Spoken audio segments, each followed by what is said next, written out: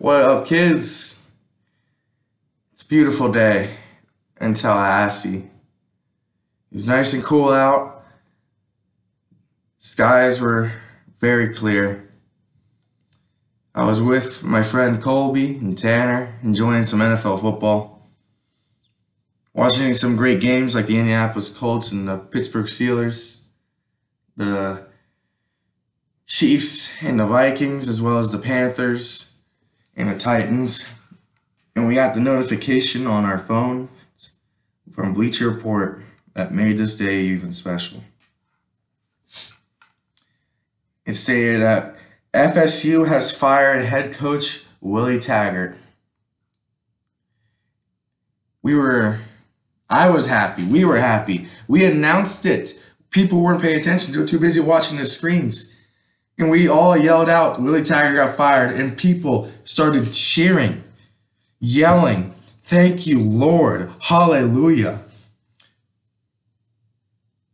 No disrespect to Willie Taggart, but he was not a good coach, both for stuff on the field and off the field. He's on his teams. We have led the nation. We've all in penalties. This year, I think we did a little better, but we're still like top 10. Sacks, one of the worst teams, one of the worst offensive lines in the country. Defense plays like crap. It, it was a mess. It, was bad. And thank God that we got rid of him. It was uh, we should have never hired him. I I gotta let because I gotta let people know I haven't been cheering for Florida State. I've been cheering for Florida State since March of this year when I was accepted uh, to attend Florida State University. And back that and back a year before that, in January of 2018, when Taggart was announced to be the next head coach, I didn't like it. I never liked it because he you can't go from being seven and five from an Oregon team with a lot of talent. They could have been way better that year without Taggart, and then he goes to Florida State in a piping hot mess that Jimbo left us. And we, what I was was right, but it got worse than I thought it would be. I said that you know Florida State they're gonna take a nice a sharp decline. We're gonna be eight. They're gonna be eight and four and seven and five. They went five and seven last year. We already lowered the standard to be like, okay, just eight and four, seven five, get a decent bowl game, and you're gonna be on the hot seat, buddy. No, we were five and seven. And then we had to lower the standards again, saying, okay, bowl game, Taggart. All we want is a bowl game to celebrate our our season, celebrating our our season, going to great cities like Birmingham, Alabama, Shreveport, Louisiana, El Paso, Texas, Tampa Bay, Florida, and not the Outback Bowl, the Gasparilla.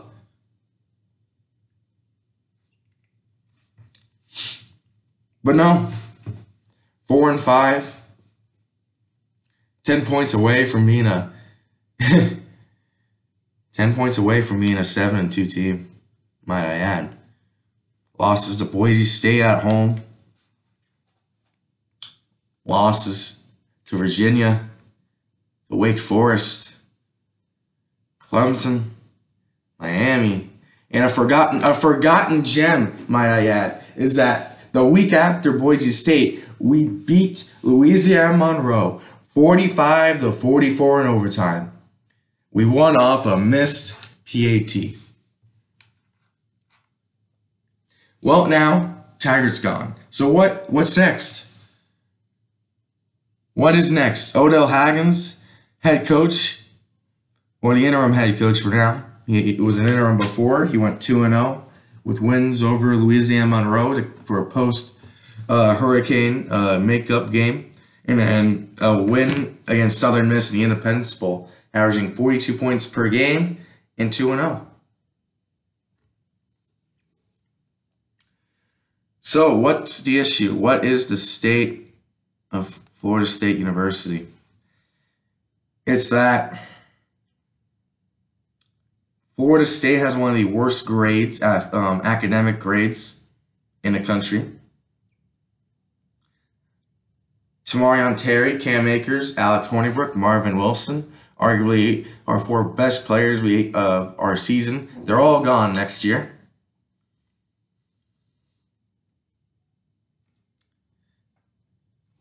Uh, ticket sales are the worst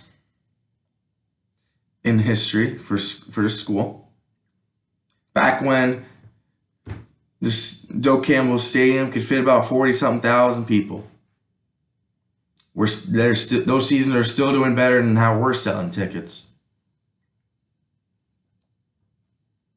It is an embarrassment. Florida State University is an embarrassment. I said it's a meme, it's a joke, it's it's a whole another level. It's an embarrassment, and it, it was a two pronged situation. One, and it could be fixed by both sides. One situation could only been fixed by John Thrasher, or the president of Florida State University, and that was the situation with coaching. He got rid of that. The biggest one now is the students and the fans of Florida State University, mostly the students. And I know some people who are Florida State students, you're going to hate me on this. But it is it's it's terrible. The attendance for students is just awful. It, it's embarrassing. It really is embarrassing. They give you free tickets to a football game and you don't take it. There's more people that I talk to during a week. They don't go to the games. They go to tailgates in Heritage Grove, to Pikes, Delta Chi, Sigma Pi, Phi Tau, instead of going to the actual game. They go to Potbellies, where they illegally drink underage, instead of going to the game, where you could tailgate and also illegally drink underage for free. And yet here we are. And then yet they complain. Those same people complain that the quality of football field and the quality of attendance, yet they do not attend football games. It's it's embarrassing. It is embarrassing. Last week, if there were zero Miami fans that showed up, that stadium would have had maybe 45,000 people in it. That's embarrassing. Every home game, there should be at least 50 5,000, 60,000 Florida State fans in there, at least. And that's if those are games against like Miami or Florida. If it was against like Boise State, there should be 65 to 70,000 Florida State fans there. I should be, excuse me, I should be struggling to get tickets every week. But no, it's easy. I get my tickets in less than a minute. It's a joke. It's embarrassing. I just do not like the situation that we have. Taggart was the first step. The university did its job. Now it's the now it's the students' turns to fix it. And I know people are not going to want to go for a great game of Alabama State at Florida State University. I'm going to tell them I don't care. It's senior day. Celebrate. Good God. Can we have at least 50,000 people show up for Christ's sake?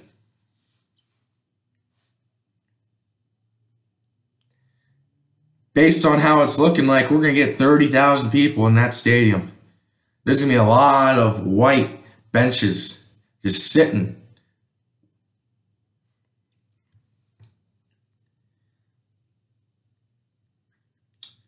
And this all really started about Jimbo leaving the university, wanting to be in the top 25. They cut funding out of football programs, basketball, baseball.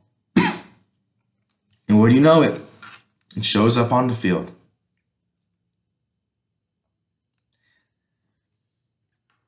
I pray to God. I have praying to God that the coaching candidates that's been rumored around for Florida State one of them show up because any of them I'll take. I'll take Bob Stoops, Mark Stoops, Matt Campbell, PJ Fleck, Mike Leach, for Christ's sake, Brent Venables, the defensive coordinator out of Clemson, Fickell, the head coach out of Cincinnati. Candle, the head coach of Toledo. I don't care. They're all great. They're all great that can help fix this team. The problem is, is I am having the back of my head where for some reason we're not going to hire any of them. We're going to hire a random dude out of wherever. And he's just going to be the same like Willie. I am afraid of that. It's just that time where we just got to sit down and think we got to start treating this team that this team is not a true contender. This team is not as it once used to be. So you have to rebuild. I don't think if you guys know about this, but our best players, they're all leaving. Blackman is going to start.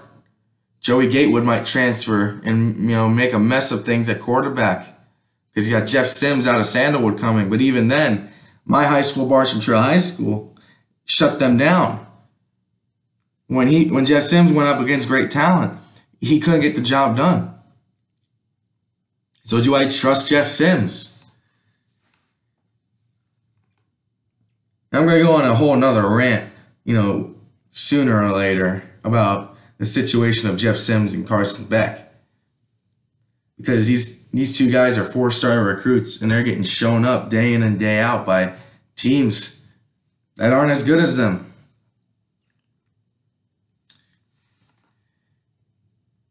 But that's a whole nother situation. Florida State University is the situation right now, and the situation is that we have to win a road game at Boston College. If the running defense that showed up last week is Miami game, our rush defense, we gave up like 40 yards during the game or something crazy like that. That's what I want to see next week. Boston College, yeah, A.J. Dillon, one of the best running backs in the country. I've seen him play on television. It was Iowa and Boston College in the New Era Pinstripe Bowl. And A.J. Dillon could run. That was two years ago. He was a baby sophomore. Now he's a senior. He's got Brickley, his backup. He also is a productive player. This is a this is an incredible situation that baffles me that we have to go in at Boston College and win. If we don't win, it's over. It doesn't matter. We're not going to beat Florida. I accepted that at the beginning of the year. Dan Mullen's doing it right there.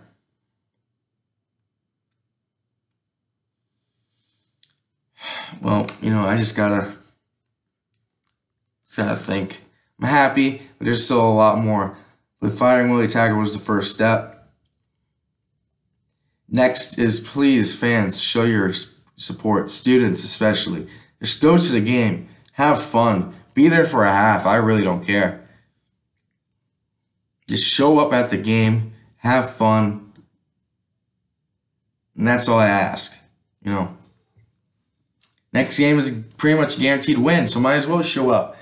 Hell, Girls, it will help your Instagram saying, got that dub. Or whatever. I gotta get off before I, you know, I get on a whole nother subject.